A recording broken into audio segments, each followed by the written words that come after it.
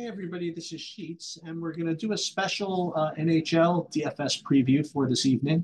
Uh, not so much of a preview as it is, I guess, a process video of how we go about building lineups, and we're going to use uh, tonight's big uh, GPP as uh, as the uh, the canvas, so to speak. Um, it's the 555 tonight, which is not it's very rare and we're going to build lineups for that. And we're also going to build the lineups for the MME contest as well. And again, the purpose of this is, yes, to give you an idea of who I like tonight, whatever, or who the projections like and whatever. But it, it's more to continue to teach you guys how to build lineups uh, on other days. So, you know, you have all these great tools at your disposal, whether it be good projections and SaberSim to build lineups and to do contest sims and just to continue to develop um, the best ways to use these tools. So we're going to go through it. We're going to go, I don't know, we'll, we'll take se several different looks at it. First of all, let's get the right sport up. Um, we're going to look at our sheets. We're going to look at our stat tools. Then we're going to build lineups using SaberSim, and we're going to see if we can't make heads or tails of this. First of all, is it possible that all these goalies, at least in the early games, are confirmed? That's that's that's that's uh that's pretty helpful. But first of all, let's take a look at the the layout of the slate, which is what I like to do. is is a whole bunch of seven o'clock games, and then a seven thirty, and then this this basically this late slate. You know, starting with uh, Edmonton going all the way through to the end. So it's a war, you know, and it's it's definitely a slate where after these seven o'clock games get rolling, you're going to want to do some late swapping um, to the to the later games. So listen, you have plenty of time, and you also have enough time to really get a sense for what's happening. So uh, I would do a late swap before the Edmonton game, and I would do another late swap before these 10 o'clock games start. The other thing I like to look at, and again, this is an enormous slate, but just to give you try to see if there's any team that stands out as far as team totals go. Just again, we're going to see what the projections say in a minute, but I think it's healthy to to figure out in advance what you think the projections might say about what teams might be good plays. So see Carolina 3.7, Florida 3.6, Edmonton 3.8. Then you see Vancouver standing out at 4.1 and Tampa at 4.5. Uh, and the other thing about the the these two games, the 4.1 and the 4.5, is that they're big goal differentials. So it's 1.7 and 2.2. And I, I'm starting to really embrace that idea because when when you rate to be up a goal or two, it opens up this this empty net risk as well, which just which just increases your your your your upside. So uh, whenever you have this situation where someone's not only has a, has a high goal scoring, you know, a high uh, implied goal score, but also the other team like rates to even not even keep up, it just increases the possibility for for that empty net situation. Um, so you have Edmonton, for example, 3.8 and a 1.3 goal in, uh, gap. But then you have this Tampa 4.5 with a two goal gap and Vancouver 4.1 with a 1.7 goal gap. Those those are pretty good plays, and they have the the the uh, added benefit of being late, um, so that you can late swap into them, you could screw around with them, you could delay if, if that's what you wanted to do. Okay, next thing I want to do is take a look at just the overall sheets and and and just. Uh, again, I don't share these too often, but when I do the videos, I, I, I like to do it and this is available on TrueDFS. Uh, these are my, you know, my projections and and uh, ownership projections and things like that. And here's my sheets value score, which is, you know, my way of combining both fantasy points and points per dollar. Um, and this is the way I like to rank them kind of right off the bat. And these are the the observations that I get when I just first look at this. Okay. First observation is that you have these two players, Kucherov and Tkachuk, which rate significantly higher than everybody else. Um, so that's that has to be respected, you know. So if you can get those guys in somehow, that'd be really nice. Um, the other thing that I notice is that there's no, well, I shouldn't say that. There's one kind of pretty good cheapo that's standing out, and that would be Andreas and Athanasiou, whatever you pronounce it. So him, you know, if he makes the rest of your lineups work, um, is someone to consider, just kind of as a one-off punt. So the other thing I'll notice is that in addition to Kucherov being the best player on the slate, his line mates also rate really strongly. And this is kind of what you're looking for when you're analyzing these guys and Brayden Point. So if you can get in one, two, three, four of these Tampa guys somehow within the salary constraints, probably going to be doing pretty well. Um, I guess the next thing I'll notice, I'm looking at this for the first time here. Well, first of all, Tkachuk, let's see if there's anybody on Tkachuk's line. So Stutzle is there, Stetzel, so that's fine. Um, then I see a couple of Floridas bunched up here. But overall, I, I don't see anybody, any team really standing out as being like really good value that are bunched together here. Um, like on the same line, all rating well or whatever. So it's going to be one of those slates where if you're going to build by hand, you would probably just try to play those Tampas and just try to make it work somehow. But on a slate like this, I really do think you're going to want to have SaberSim kind of help you here. The other thing I, li- I do like to look at uh, is the stack layout. And this basically puts all these projections kind of together in a stack format. And I like to look at these rated three different ways. First is by just raw overall projected points. And here you'll see that Edmonton is the highest. Um, I imagine the fact that they're not that highly owned is going to be because they're very difficult to get to. We'll, we'll see. When we rate the stacks by points per dollar, it's more Chicago, and, and that makes sense because you have this Anastasio guy who's really cheap. Then San Jose, and then Tampa. And then we rated my modified stack, which is a combination of these two. Then Tampa becomes number one. So you have Tampa, uh, rating really well, both value and modified value. And then Edmonton is for raw, raw points. So those are the the the the teams you can get, you know, that if you can get to them, it would be great. And the other thing I like to look at is from these value stacks, you know, these probably can end up being good secondary options. Like if you want to play Tampa, you get the Chicago cheapos or the San Jose cheapos or something like that. So what I'll sometimes do is I will just start by doing the hand build lineup. Um, so let's let's let's go ahead and do that um, here. The yeah. So let's just say that I wanted to try to get those Tampa guys in. Brandon Point. Who else did I say? Kucherov, Stamkos, who was the other one? Let's take another look. I just forget. Kucherov, Stamkos, oh, Hedman, right? Hedman and points. So if we did want to do this, becomes pretty, pretty difficult. But I mean, the thing is, you have like a whole bunch of games you can choose from. So, like, if you wanted to go for a cheap goalie, which is what I like to start with, let's take a look. Um, like who's the cheapest goalie that rates well? So 8,500 is going to be too much for this purposes of this. Um, 8,200, 8,300. Wow, this is not a lot of fun. usually find someone good at 7K, but you're not seeing it right now.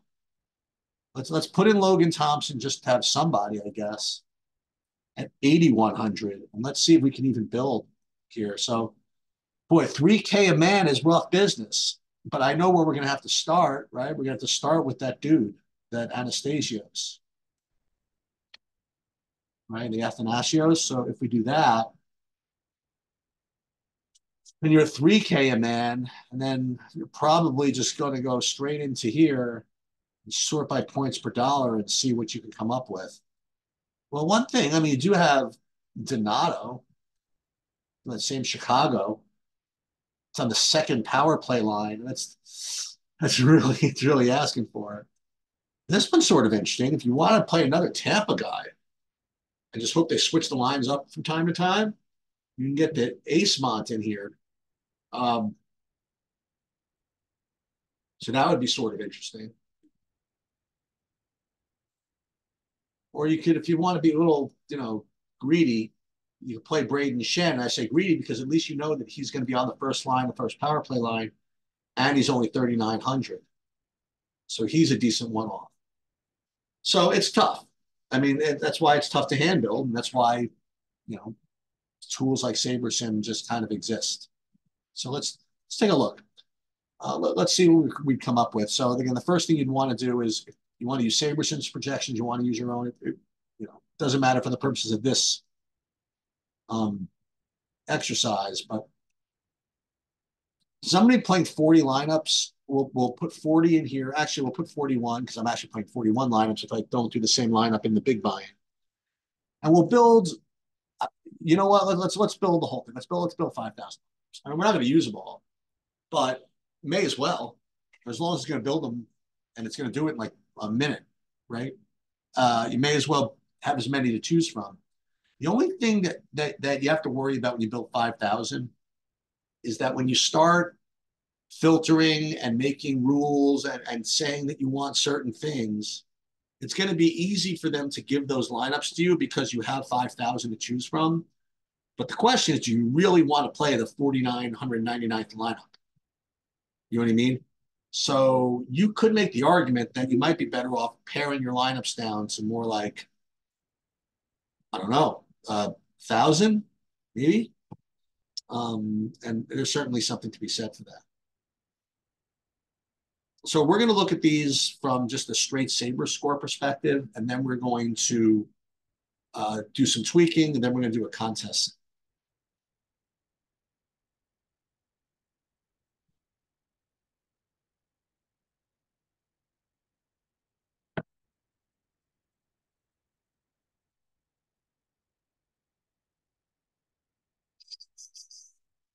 All right. So when we look at it right now without doing anything, uh, first of all, it's important to know what we're looking at. And as you see, by the way, and the aforementioned Astanasios and all those Tampas. And there you have it, right?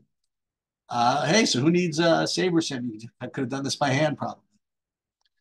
Um, do you want to play a guy from the number four even strength line uh, and no power play? I don't know, but I'm not worried too much about that. But I guess it's important to see what we're looking at here. So it's ranking these by Saber score, and it's specifically ranked them by the large slate defaults, which is what this is, a large slate. And when you click on the eyeball, it'll tell you what this formula is. And I can tell you what this means is that it does overweight the, the 95th percentile outcome because this is percentile is 0.95. And then it subtracts the, um, the average adjusted ownership which um, again it tries to make upside lineups without playing the highest owned uh, owned players. And striking that balance is difficult for a human. So you know you have computers and algorithms that'll do that for you. Uh, the other thing I'd like to look at, just for again for analysis, is what types of teams you would get by default and what types of stacks in general. So first of all, under stack exposures, you'd be getting 43% of your lineups would be five twos, 24% five zeros, 14% six zeros, and then four threes, and a couple of these, you know, kind of, I say non-traditional stacks. Um, and it's up to you whether you want to just say, you know, SaberSim, just do your thing. And if it likes these stacks for all the reasons it's supposed to like them, just go with them. Or if you're kind of stubborn and OCD and you don't want to want to see these five zeros and four twos or whatever, you could X them out and just for the purposes of this, let, we will X them out. So we're going to X out the four twos and the four two twos and the five zeros. And we'll just leave in five twos, sixes, and four threes. Uh, they're giving us some three two twos, so we'll get rid of those. All right. Uh, next thing I'll look at is what teams we'd be getting to, and it would be getting 85% Tampa, which yeah, listen, I'm, I'm, not surprised. Um, I'm definitely not surprised. And what's kind of cool is you, you know you're going to be cashing for zero for like quite a long time. And the, the other thing that's good about this, by the way, is that if things are not particularly going your way early, you do have some flexibility to screw around, you know, and and swap into some Vancouver, uh, some Vegas guys, or some Vancouver guys, or even if you're a little nervous earlier, into some Edmonton guys. So getting really overweight on on, on Tampa is not so bad because you, you might not even get to be that overweight at the end of the day. Um, and the other thing that you can consider doing, and this is before even run contest sims, is changing this min uniques number. And, and what this will do, well, this will do a couple things. Number one is that it will get you more diversity in your lineups. It's not going to uh, allow lineups that only have one difference between them. However, what that will also do is not give you your top 40, you know, rated by Saber score. You know, it's going to get you a different ranking. So with every with every you know push, there's a pull. So with more diversity, you get a little more. I'll say more risk, but you, know, you give up some projection equity. So, uh, so to show you what you would do, you just go to Min Uniques two, for example, and then you get a little more uh, diversity in your lineups. Okay, and how much do you do? I mean, it's it's just up in the air. I mean, you could go all the way down to the amount of min uniques where they won't let you anymore, you know, and then then do it that way. Um, it just depends on your your your risk tolerance and and and how confident you are. Um, the more confident you are, and the more risk tolerance you have, you the less min uniques you're going to ask for. Okay. Uh, next thing we're going to do, we'll, we'll save these to my contest for now. Just just just for for a second. And the reason I like to do that is so that this will show up. And what this will allow you to do is to set up your contest sim settings. So it automatically populates the contest size of the tournament you're entering, the percent, you know, uh, payout to first, percent entries paid, and the number of sims you want to run. And then it gives you this choice of which field of lineups to um, uh, compare your lineups to to figure out your expected ROI. And and in this one, if you pick Saber Sim ownership, it's going to compare your lineups to a bunch of lineups that the Saber Sim ownership numbers uh, imply.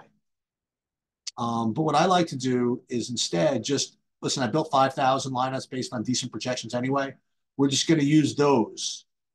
Build one as my target. You know, th those are the field of lineups I'm going to compare mine to to figure out which ones rate to be the highest, you know, risk adjusted ROI against them. So after we do that, we click run contest sims and it, you know, it, it's running the, you know, however many simulations of the slate. And after it does that, it's going to allow you to re-rank your, your, your, your lineups based on how they're going to do against the rest of the fields not just how they're going to do on a raw basis, but how they're going to do given the fact that other people are likely to play XYZ. So this should be uh, done in a second. Mm.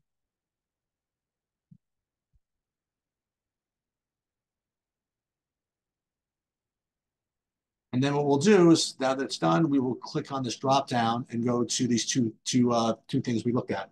So first, let's look to the Thursday night ice, which is the big is the big buy-in, uh, and we'll click risk adjusted ROI, and it is going to list the top rated lineup given you know uh, your risk adjusted ROI against the field of lineups that you are, you know those, those five thousand lineups. So what we'd be getting, I mean, if you care, I mean, our our six uh, Tampa's fully stacked, and then a couple of random one-offs. And what's what's okay about this is if you'll notice, I think none of these games start before like nine o'clock. So we're going to be able to see what all this, what all, what's happening here before we have to late swap, before we have to screw around, and we will have the ability to update our projections later in the slate uh, for to accommodate line changes, you know, and things like that, and late injury news. So these types of builds are very, very healthy. Um, so we're we're going to start by by saving this one to Thursday night ice. Now let's again let's go then also look at the kick save, which is the MME kind of lottery. And I imagine this is going to be somewhat different, and it is. So why is this different? Well, I mean, when you're trying to beat, you know, 50,000, you know, 20,000, you know, 10,000 people, you know, you're not just going to play the chalkiest best performer. You're going to realize that other people are going to play that also and play less of it. Now, with that said, we're still getting a full 29% Tampa, okay, which is fine. Let's take a look at stack exposure. Um, couple of, of, of stray violators, stack rules. And then again, we want to figure out, do we want to go min uniques one? Maybe let's go min uniques two. Seems reasonable enough. And we're still getting Tampa, but now we're getting a little more exposure out of these earlier games. Uh, but but even still, Montreal. This is this is pretty contrarian, you know. Um, and it's a 10 o'clock game. I think this is all pretty healthy. So we'll go ahead and we'll just fire these.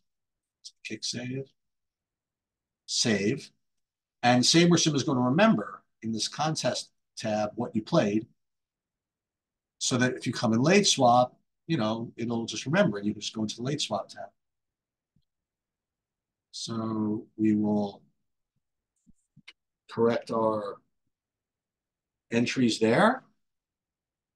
And we are now off to the races. And that is it.